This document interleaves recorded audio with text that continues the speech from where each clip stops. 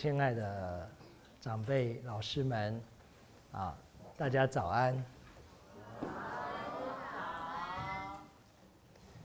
上一节课呢，我们跟大家说到，我们这个题目下面啊，那个命运啊，命运有，我们肯定的，而且呢，我们更肯定的是呢，命运是我们自己造成的。哦，我们应该对我们自己的命运呢，呃，负百分之百的责任。啊，而这也是一个好消息，因为呢，我们对他负百分之百的责任，所以我能改变他。我我不不是完全的啊一筹莫展的啊接受命运的摆布，命运有有前因有后果，但是呢，我掌握了那个缘，我掌握那个条件，我就能够改变它，我就能够来营造它。这个是我们上个上节课跟大家做说明的，我相信呢，大家也都能够啊体会到这一个层次啊。那下面就讲到呢，圣贤教育怎么改变命运？那就要了解什么是圣贤教育。这个课题很大啊，我没有办法跟大家呢呃细讲，我只能讲一个呃粗略的那原理原则。如果说我们要用一个很简单的概念来认识什么叫圣贤教育的话，哈。呃，我可以跟大家讲呢，圣贤教育所有的内容呢，就是一个字，叫爱。也就是说，你要问我什么是圣贤教育，我可以告诉大家，圣贤教育就是爱的教育，就是爱。可是这个爱呢，不好讲，因为呢，现在在大家认识到的爱，呃，不是圣贤教育的那一个成分，哦。所以呢，我们讲这个话的时候呢，我就特别要跟大家做说明呢。现在人认识的爱是欲望，它不是圣贤教育里面讲那个爱。圣贤教育讲的爱里面一点欲望的成分都没有，这个是我必须要跟大家做说明的。那那么呃，你说有有什么东西来说明这个很很容易呢？呃，大家。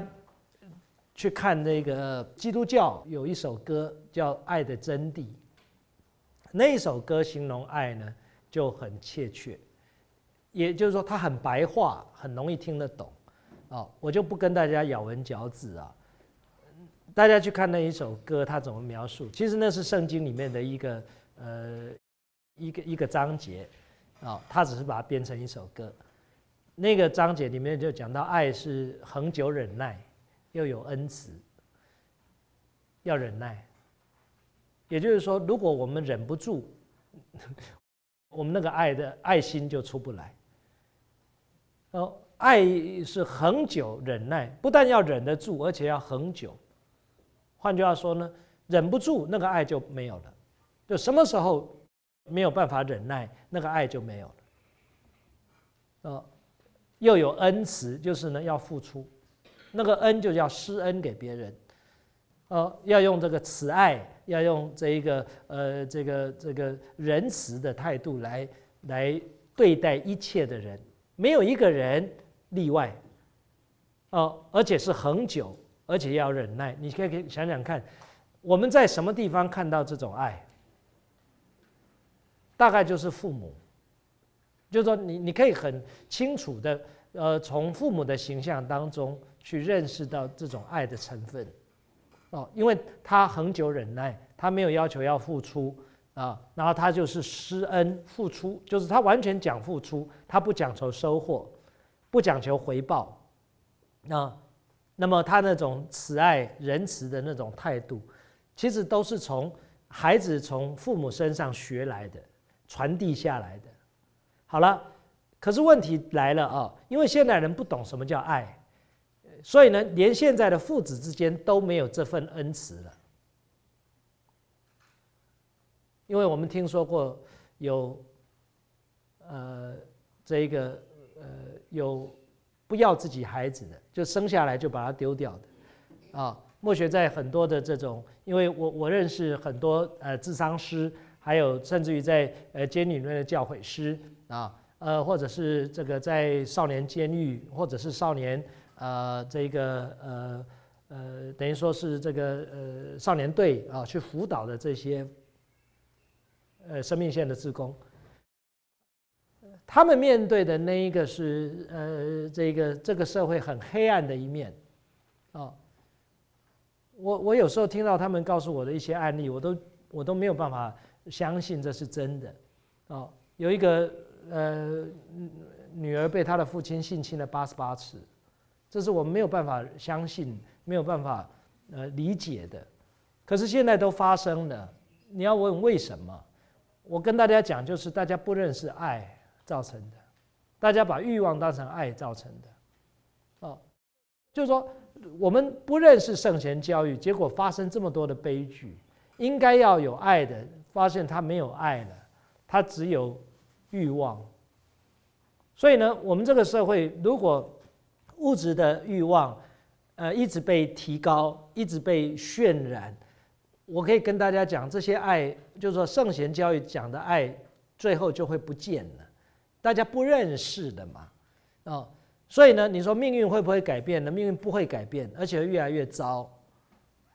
为什么呢？因为因为他不懂得改变命运的原理原则，他走的都是反方向的。啊，所以我我今天要告诉大家说，第一个我们要先厘清，呃，一个观念就是爱不是欲望，爱是讲付出，不是讲我要占有，我要控制，不是的，我要支配那个不是的，啊，一定要很清楚这件事情啊。所以爱里面有什么呢？有智慧，有理智，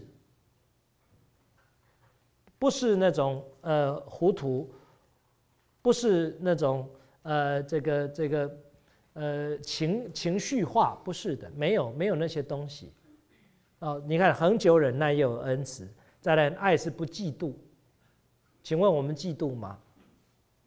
我到我有一次到警专去演讲啊，呃，那个都是警察嘛，将来要做警察的哦。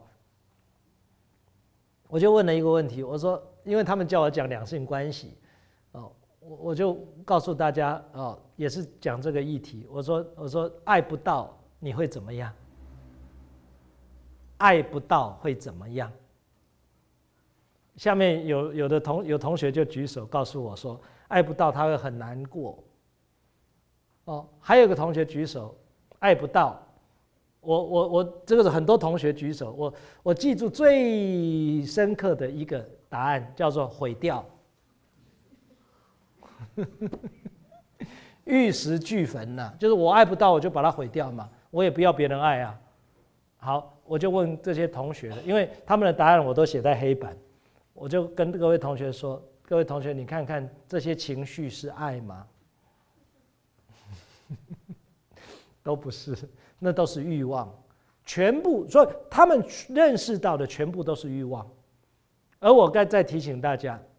现在流行歌曲里面歌颂的爱，你去听一听，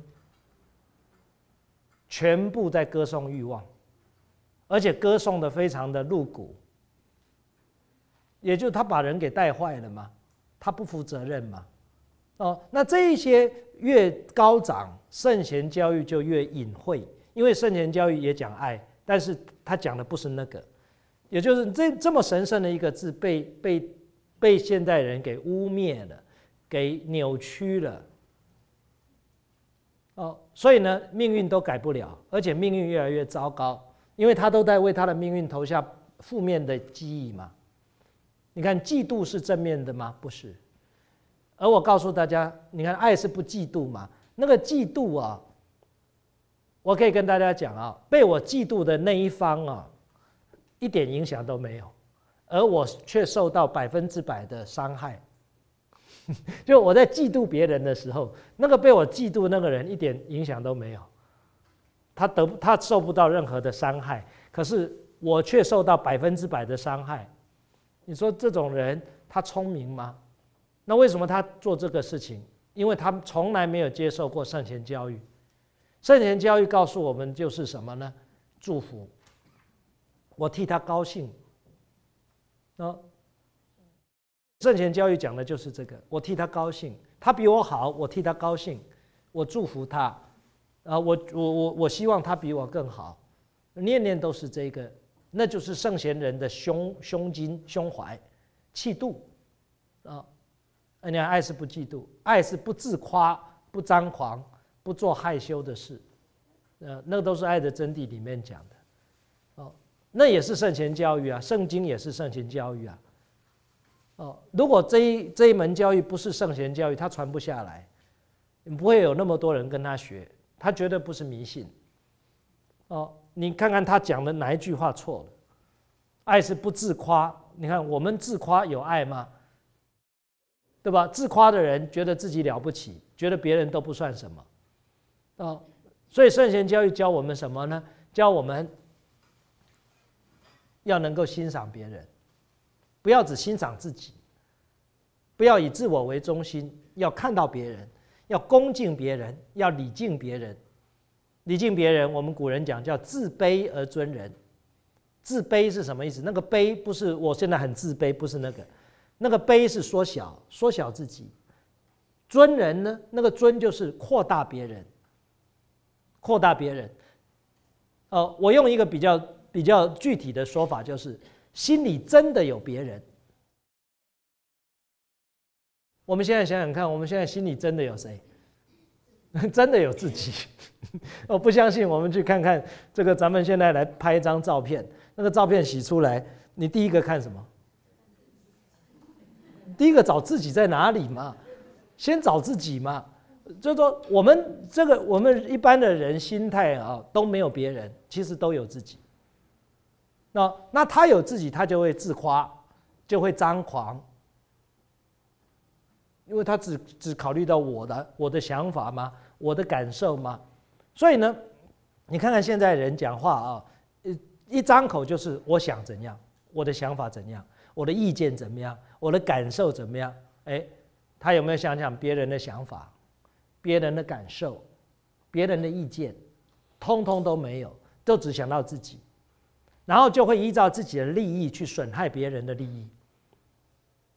哎，我们要说了，刚刚说过了，这个世界有没有吃亏的？有没有占便宜的？没有。他现在要损损害别人的利益，他将来要还债啊。这都是都是理所当然的。我们刚刚跟大家讲，命运就是就是这么回事嘛。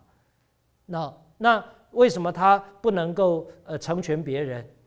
因为他没有接受过教育，他从来没接过接受过这一套教育，所以他不懂。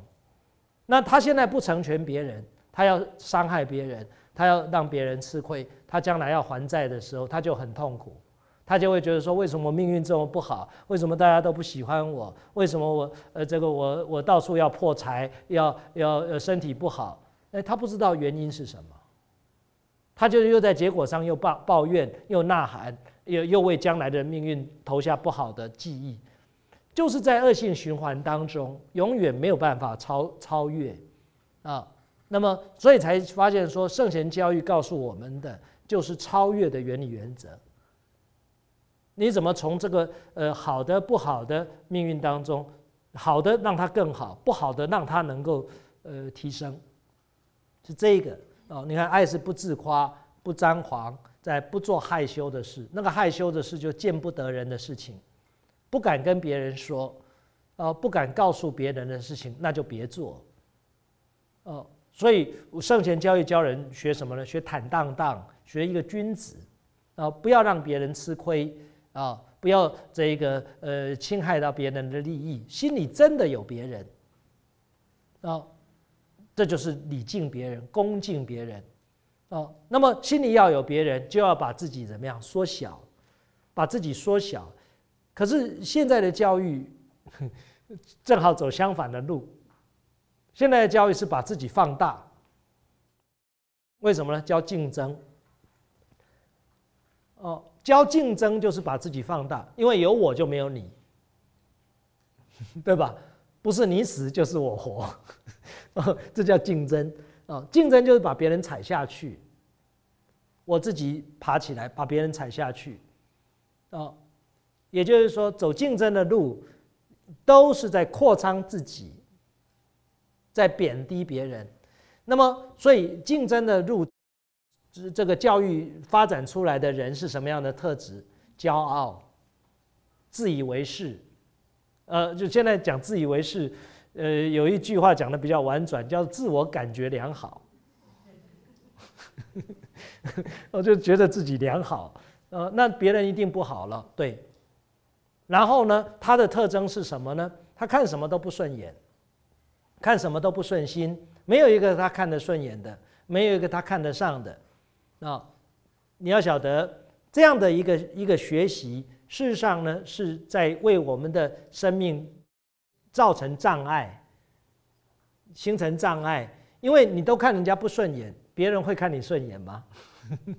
这是一个很重要的一个问题哦。你都看不上人家啊，看不上眼啊，这个也不满意，那个也不高兴啊，这个你也要批评，那个你也要跟人家指教。哎，这种人呢，最后人际关系就不好。那这样的人际关系不好，我们在今天的题目里面就说，这个人命运一定会很不好，他一定遇不到贵人，一定没有贵人要相助他。那谁造成的？注意，我们要为自己的命运负百分之一百的责任，所以要改自己，改自己的什么？改自己的心，要把这一颗心改一改。可是我们怎么知道怎么改心呢？圣贤教育就是这个。哦，目前跟大家谈那个爱的真谛，就这几句话，我们就学到好多。可是谁肯这样学呢？谁肯把那个态度真正变成是我的态度呢？哦，不自夸，不自夸就要谦虚喽，对吧？不张狂，不张狂就要赞美别人呐。我们在呃日常生活当中，我们赞美过多少人？在我呃眼里面有多少人的呃行为是我看得上眼的？是我能够呃鼓励他，能够呃这个呃帮助他积极向善的？我们这一生施了多少恩德给别人，也就是我们都要去想这些问题啊，要不然我们怎么营造我们的生命，投下好的这个记忆？所以人格特质非常非常的重要。就一个人拥有这样的人格特质，我们说这是一种成功的人格特质。为什么呢？因为他的命运一定好嘛，他掌握那个命运改变的那个条件嘛。他念念都在释放的是正面的能量嘛？他为什么不好呢？他一定好吗？所以大家要要从那个根本的原因去找到。嗯，所以中国的老祖先就讲：积善之家必有余庆，积不善之家必有余殃。做善将之百祥，做不善将之百殃。哦，种善因得善果，种恶因得恶报，那都不是乱讲的。换句话说，用我们现在的话来讲，那都是很科学的态度，非常科学的态度啊。那那我们现在重新来检检验这些话的时候，我们就发觉这些话非常有智慧，那是智慧的结晶。它不是随口讲出来的，不是的。好了，几个人依教奉行了，几个人听了就是说，哦，这就是我人生的态度，我就应该这么做。我们现在为什么做不到？因为圣贤教育没有了，这个是一个非常核心的关键点啊！爱是不自夸、不张狂、不做害羞的事。再来呢，不求自己的益处。你看，爱是不求自己的益处哦。那换句话说呢，是要让别人得到好处。我们想想看，我们的人生观当中有没有这一条？有没有说我到任何一个地方，我就希望这个地方的人得我的好处？哎，现代人是怎么样？现在人到一个地方去，就是希望那个地方的人给我点什么好处。你看，完全相反的人生观，他的命运怎么会好呢？大家去想想看就知道了。哦，他能得到好处，可是呢，你想想看，他的人生会越走越窄。他都要得别人的好处嘛，他的路就越走越窄。再来呢，他的心灵就越来越空虚。所以你可以看到，这个世间不乏有钱的人，不乏地位很高的人，可是他们快不快乐？我遇到很多，就是我亲身遇到的，因为我我我们当时在，我我也跟大家说过，我在中国大陆，我们我开的课程就是传统文化与企业管理，因为报名的人很多，我们最后就限两种人可以参加，一种是董事长，一种是总经理，所以我们遇到的都是那些人。哦，而跟他们相处的情况之下，我才了解，我原来我们看到这些光鲜亮丽的外表，其实背面背后都是脆弱。很多人很有钱，很有地位，可是他不高兴，他不满意，他没有我们小老百姓活得这么的潇洒。我说的都是真的，不是说呃我我这个是一个小老百姓，所以我酸溜溜的呃讲这些话，不是的。我讲的都是真的，也就是说，我们呃很多人一辈子都在追求财富，追求到了，结果如何呢？他不高兴，他觉得他他觉得他追求到本来要很高兴嘛，可是呢，可是他说他他都没有得到，跟他预期的有差异。真的，我说的都是实话，哦，然后才晓得什么呢？然后才晓得说。人要能够往往这个这个这个另外一方面去思考，就是我到一个地方，我能不能让这个地方人得我的好处，而不是我去得人家的好处。哎，我如果能让越多人得我的好处，表示什么？表示我能力越高，表示我能力越强。你看看这么一个转念，心里就坦然了。哦。我我我在小时候曾经，呃，家母曾经跟跟我说过这样的话，他说：“你长大之后要做一个手心向下的人，不要做一个手心向上的人。”大家想想看这一句话的，我觉得很有哲理。手心向下就是你能给吗？手心向上是什么？你要吗？你要跟人家要吗？要跟人家要求嘛？所求嘛？哦，那就苦了。那现在人要的多不多？多，都是人家欠我的。哦，我我经常看到说，我们你看现在那条路已经开了啊，那个呃从那个那个到那个太平路呃太太原路那条开了嘛哈。我经常说台湾的路很多啊，多的不得了了，已经四通八达了。对吧？我经常怀着感恩的心呐，在开这些路的时候，我都觉得说，台湾的路你看这么好，这么的宽敞，这么的呃四通八达。可是呢，路那么多，路那么好，用路人的那个素质有没有提高？没有啊，他塞塞一点他就要骂，啊这什么政府？你来做。你能不能做得更好？也就是说，我们都要都要跟人家要。那么，我们曾经想过，我们付出多少吗？忍一忍不行吗？转一转心念不行吗？哦，在车上享受一下片刻的那一种呃这种塞车的宁静不行吗？他为什么没有办法转他的心念？他从来没有接受过圣贤的教育。所以人的路越走越窄，好像人生活着就是那一份薪水，就是别人的眼光，别人怎么看我，啊，我要怎么样让他羡慕我？我要怎么样让他觉得我了不起？都是我都没有想到别人，呃，所以呢，他的命运真的很惨，很悲哀，可是自己又不知道。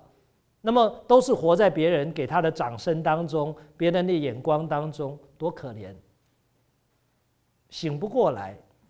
那所以最后什么疾病很多呢？我跟大家讲，忧郁症很多，精神疾病很多，因为他内心有冲突啊，哦，他走不出来啊。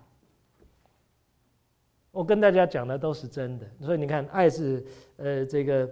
呃，不求自己的益处，下面那句叫不轻易发怒。为什么呢？发怒是不好的记忆。呃，发怒呢会造成对方跟我之间不好的记忆累积在那里，那个那个记忆将来要发要要发出来。所以我们走在路上，为什么说我看这个人，觉得心情很好？就是因为我跟他在过去的时候接触的时候有一个好的印象，所以这一次遇到了，我对他觉得嗯，蛮蛮蛮好的，蛮亲切的，看起来他蛮有我的缘，有没有？那就是过去的记忆好吗？哎，为什么我们突然看到一个人，emoji 拜拜？但是这个第一次看到啊，这好像以前也不认识，可是 emoji 就是不好，就是就是觉得拜拜啊呢，哎就不外呢，哦就扯，为什么？就是过去的那个记忆不好嘛。好了，那问题来了，我还要这样子跟他，就是那个 emoji 还要不好下去吗？不要了，为什么呢？因为我如果还把我这个情绪再扩大，将来遇到还是这样。明白这个意思吗？就是说，如果我能够在现在了解到这一件事情，就是这是这是我们过去造的孽，所以呢，我现在要赶快转变我的心态，我要欣赏他，对吧？甚至于我可以帮助他，哦，我可以这个呃这个赞美他。关系就改了，那个记忆呢？不好的记忆就擦掉了，他就种下一个好的记忆，将来遇到了，哎，就变成是好朋友了，是这个样子的，哦，所以呢，化解负面的情绪是非常重要的。怎么样化解负面的情绪？如果他能知道这些关系，这个关系当然错综复杂，他能知道这些关系，他就能顺利的把这些。呃，负面的情绪给化解掉，啊，所以呢，不轻易发怒啊，不求自己的益处，不轻易发怒啊，呃，这个不喜欢不义的事情，啊，不计算人家的恶，就是说不计算人家的恶，就是说不要去计较别人犯了什么过失，别人犯的过失，我要怎么样呢？我要宽恕。还有呢，要怜悯；再来呢，要教导，要劝，哦，而不是去怨，不是去批判，不是要他好看，不是修理他，那种心态对自己都不好。要转，我怎么帮他？我怎么劝他？我怎么去呃这个理解他？你看那个心态，只要一转，问题就化解掉。不但问题化解掉，而且两个人的这一个关系就变好了，就改善了。将来他就来帮助你，他就成为你生命中的呃力量、贵人。这个，那就是爱。你看圣贤教育教的就是这一个。哦，所以呢，不计算人家的恶。哦，不喜欢不义。不喜欢那个不义的行为，哦，喜欢善良的，啊，真诚的，喜欢那个不喜欢不义，只喜欢真理。哦，凡是包容，凡是相信，凡是盼望。你看这些话，我们想想看，我们是不是我们的态度？哦，我我的包容力如何？我能包容吗？哦，就是说呢，我在呃这个呃呃人家呃这个。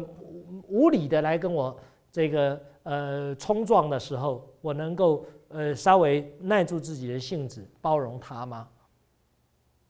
哦，然后凡是相信，凡是盼望啊，不要去怀疑。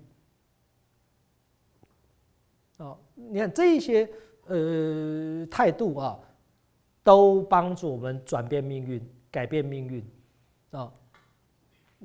我们现在讲的都是什么呢？圣贤教育里面很小的片段，你就看到效果这么这么好。哦，所以你看圣贤教育，我再跟大家归纳一个“爱”字，然后拓展开来，我们老祖先讲的几个纲领，第一个五伦、五常、四维、八德，爱的教育啊，五伦。那个“伦”是什么意思呢？这都是文言文啊，所以要解释。哦，不解释呢，我们现在认识它都含糊笼统、囫囵吞枣。那个“伦”是什么意思？“伦”是类别，类别用我们现在的话来讲叫做关系。叫做人际关系，这样大家就听得懂了。那换句话说，人际关系有几种呢？有五种人际关系。不管人际关系有多复杂，啊，也就是说，我们从我们的生活当中去归纳，你就能归纳到五种。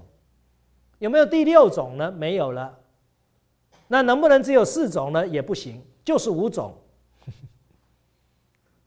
哦，这叫什么？这叫真理。你在在古代是五种，在现代是五种，在台湾是五种，在美国还是五种。哦，决定不会跑出第六种，也不会变成四种，不会，就是五种。这叫真理。哦，这叫人际关系。好了。那哪五种呢？第一个叫夫妻，第二个叫做父子，因为有夫妻，然后才有父子。第三个叫做兄弟，有父子，然后有兄弟，这是在家庭里面的，这是家庭里面的关系。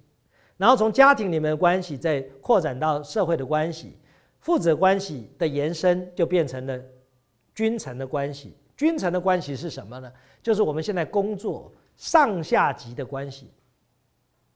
譬如说，在一个学校里面，校长就是君，老师就是臣，就是这个关系。所以，那个君跟臣不是说皇帝跟呃大臣的关系，不是只有那种关系，它是就是上下级的关系。因为这都是古文，所以要经过翻译。用现在的概念来讲，哪一个团体没有上下级的关系？都有吗？那就是君臣关系。哦，那是在社会里面的关系。那么从兄弟关系衍生出去到社会叫朋友关系，就这五种关系。那这五种关系就叫人际关系。那那个人际关系跟我们的命运有没有关系？怎么会没有关系呢？我们的命运跟很多人的命运是交错在一起的，是一个交错的网络。哦，当我们的命运改变了，其他人的命运跟着我们转，那个人就能够，那个人就能够让跟他有关系的这一个团体命运通通都能转得过来。那这个人在那个团体里面是扮演什么角色？就是领导的角色，因为他有智慧。那别人就服他，别人就接受他的领导。怎么会没有关系呢？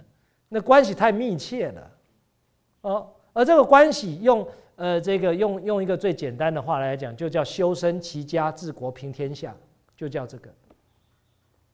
修身就是我能改变我的命运，齐家我能改变一个家的命运，治国我能改变一个国的命运。为什么呢？因为他有智慧，因为他接受过圣贤的教育。好了，你说我要去改变这个国的命运，可是我的命运我都改变不了，那叫做什么呢？那叫做缘木求鱼，绝对得不到。换句话说，我自己的命运都改变不了，我能够我能够改变一个家的命运吗？做不到的。我一个家的命运都改变不了。我说我上班要去要去把我这个工作做到多好，要让多少人得到我的利益，那都是骗人的。为什么？因为他没有这个能力嘛，他做不到的。哦，所以呢，讲关系，讲关系，而这个关系里面是什么？就是爱。所以呢，父子叫父慈子孝，那个慈跟孝就是爱，那个父跟子就是关系。所以呢，他把那个关系里面。应该要产生的一种相互对待的一种呃模式，呃，告诉我们一个原理原则，怎么做，怎么做这个关系才能理顺，这叫伦理，就是那个伦要把它理顺了，你的命运就改了，你的人生就非常的圆满。哦，那么原理原则只有两个字，父叫做慈，子叫做孝。那个慈跟孝是不是爱？是。那都是爱，为什么要讲两个？因为身份不一样，身份不一样，态度就不一样，方式就有所不同。但是核心都是爱，会依照身份的不同而有对待的差异。哦，兄友弟恭，你看那个友跟恭讲作用，那个兄跟弟就是关系，就讲关系里面的作用。哦，夫义妇德，做丈夫的有道义，做太太的有德有女德。夫义妇德，哦，君人臣忠，哦，那个人跟忠就是态度，就是爱，其实都是爱嘛。哦，朋友有信。通通通都是讲这个，你说他没有道理吗？你说你说他不能改变命运吗？都能改变命运，只是呢，我们有没有听进去？我们有没有依照那个原理原则来改变我的态度，来改改我的心，来改改我怎么面对这些关系，怎么去营造这些关系？这要学啊！那以前人在哪里学？在学校里面就学了，现在学校不学这个。觉得这个没有用，然后他要学知识，他要学技能，结果知识技能学了之后，他搞不懂人跟人的关系，他到这个社社会就添乱。再来呢，他到这个社会就碰钉子。哦，虽然他很有很有知识技能，可是呢，他没有办法融入这个社会里面，他没有办法在那个关系当中得到理顺。没有办法在那个关系当中非常的呃这个呃恰当的跟人在那些关系当中去呃这个转变彼此的命运，让彼此的命运往上提升，他做不到。哦，现在我们遇到的困境就在这里啊，然后我们叫这些人叫什么叫草莓族。叫这个抗压力很低啊，挫折成就力很低，就是那些语言，就是在形容那一些没有办法把人际关系做好的那些人的状态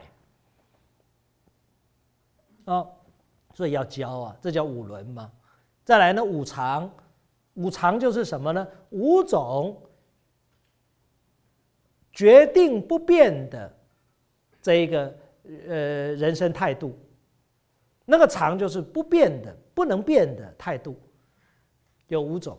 也就是说，不管是古代还是现代，不管是在台湾还是在外国，只要是人，都有五种不变的人生的态度，应该在我生活的时候展现出来。如果不不展现这五种态度的话呢，这个人的命运一定一定会堕落，一定会不好。一定会遇到灾难，一定会遇到伤害冲突。那这五种不变的态度是什么呢？叫仁义礼智信。大家想想看，仁义礼智信是不是爱？通通都是爱，只不过他从不同的角度切入来讲，你才晓得中国人对这个“爱”字的认识很深，而且呢，中国人的文字很科学。因为外国人只有一个“爱”字，所以呢很粗糙，很粗糙。他不知道，他不知道那个爱的拿捏应该怎么拿捏。但是中国人不是，你看那个中国文字对于那个那个概念的描述非常的精确，一点都不含糊。哦，才晓得我们老祖先不但很科学，而且呢他们很有智慧，而且他们把。改变命运的原理原则讲得非常非常的清楚。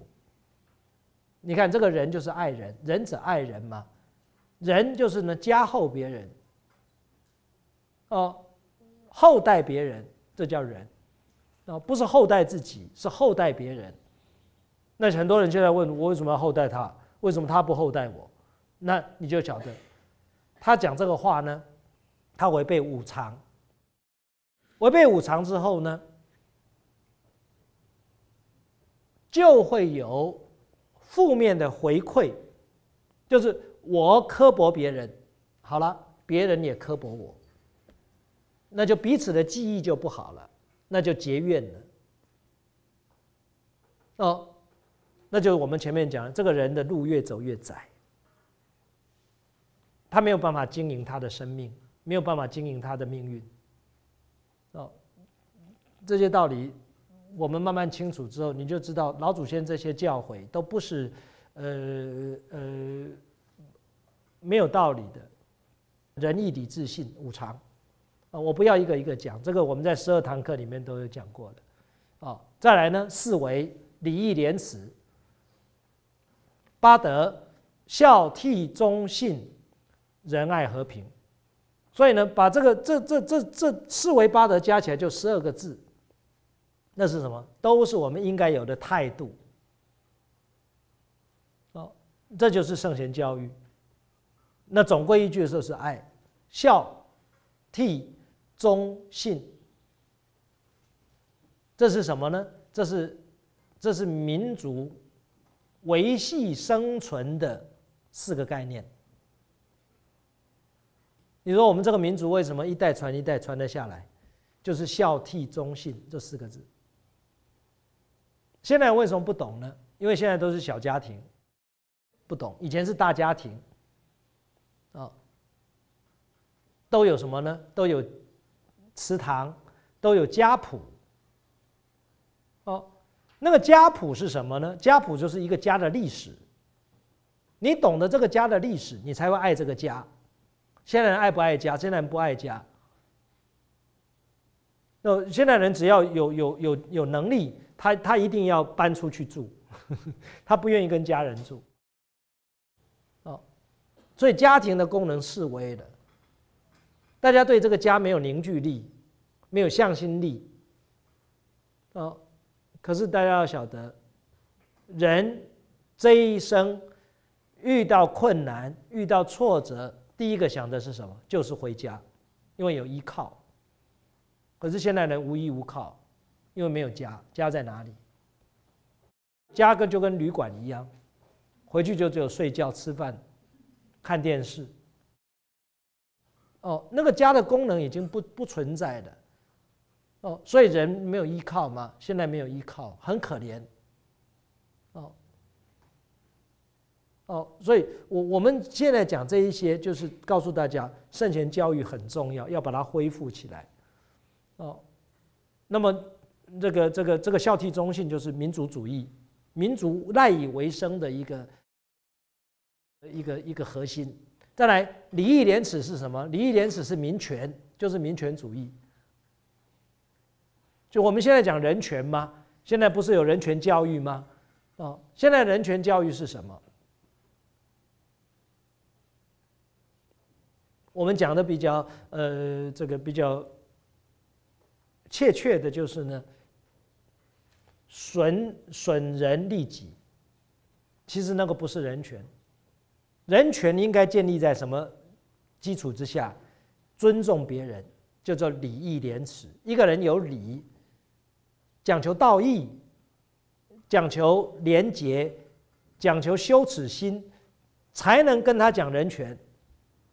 如果一个人没有礼义廉耻，就要褫夺公权，因为因为他没有资格讲人权，那个人就跟野兽一样嘛，就跟禽兽一样，你怎么能跟他讲人权呢？他他懂吗？他只会去害别人，那不可以讲人权的，要跟讲礼义廉耻的人讲人权，他才听得懂，他才有那个资格来呃论人权。哦，再来呢？仁爱和平就是民生主义，因为没有仁爱和平就没有民生。你看这十二个字，把民族、民权、民生给我们讲得很清楚。哦，那这些都是圣贤教育的内容，具体的内容改不改变命运呢？决定改变命运。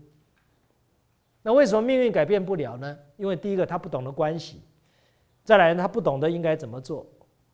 哦，他不懂得这一个原理原则是什么，那所以呢，讲到关系，讲到这个情情绪的这一个呃交流，情绪的管理，这通通都是圣贤教育里面的内容，很主要的内容啊。那人生活在这个世间，不外乎就是人事环境跟物质环境。那人事环境里面，在圣贤教育里面告诉我们，有善有恶。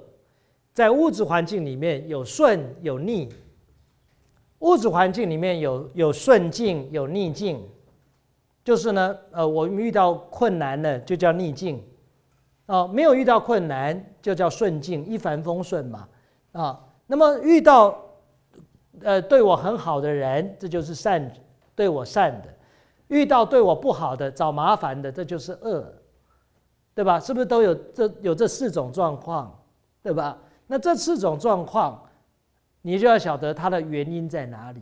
有因吗？为什么人家会对我不好？因为我以前对人家不好。为什么人家现在对我好？我以前对人家好。因为所以所有的事情都没有偶然的，哦，都都不不会凭空出来的，所以它有因。然后呢，你才晓得怎么样去营造，最后呢，把那个果给调整到一个好的状况。因此，在顺境的时候，就要学习什么？不能骄傲，哦，不能够这个呃贪恋。在逆境的时候，就要学习不能够生气，不能嫉妒，啊，呃，不能够陷害别人，啊，这就叫什么？这就叫情绪管理。哦，所以呢，圣年教育在在这方面讲的非常非常的切确，非常非常的多。啊，总之就是什么呢？面对我们现在遇到的场景，有善人，有恶人，有逆境，有顺境，有逆境，要学什么？学心气平和，管理自己的情绪，就是学心气平和。哦，遇到善的，遇到善的顺的。心不要太这一个高傲，我们叫欲不可纵，志不可满，乐不可极，因为乐极生悲，所以就告诉我们顺境的时候要怎么样，还要平自己的那一个贪心，平自己那个很很得志、踌躇满志的那个心，要把那个心平住、平下来，这是在顺境的时候。那逆境的时候就要凭什么心？要凭那个嗔嗔恚发脾气那个心啊！最近那个新闻就是最有名的就是林书豪哦。莫许跟大家讲哦，你看看这个年轻人真是了不起，他二十几岁而已啊，他那么多人关注他，他还那么谦虚。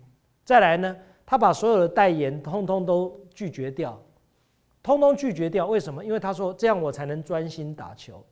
如果我有那么多的代言来的时候，他怕他怎么样？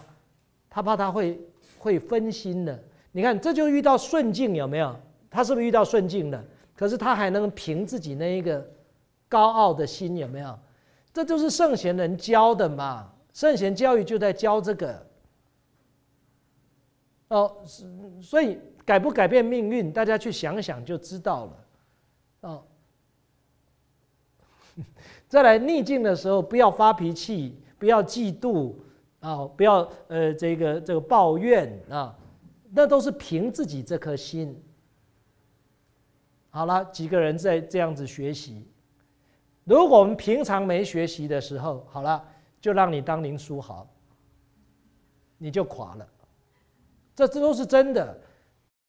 他那个林书豪，他也不是遇到的时候他才开始学的，不是的，从小家庭教育培养的，不是临时抱佛脚说哦，我现在遇到这个境界，我再来调整，你调整不了，你绝对被那个境界牵着鼻子走，啊，都是平常的功夫，平常要学，所以才晓得什么呢？要教育子弟，否则他出去他就踢到铁板。等他踢到铁板的时候，来不及了，都是来不及的时候了，哦，他在抱怨，再来呃这个这个呃呃伤心，那都没有用，那都是后见之明。所以呢，老祖先就是怕我们命运不好，所以呢，把这么一些教诲放在典籍里面，一代传一代，也就是说。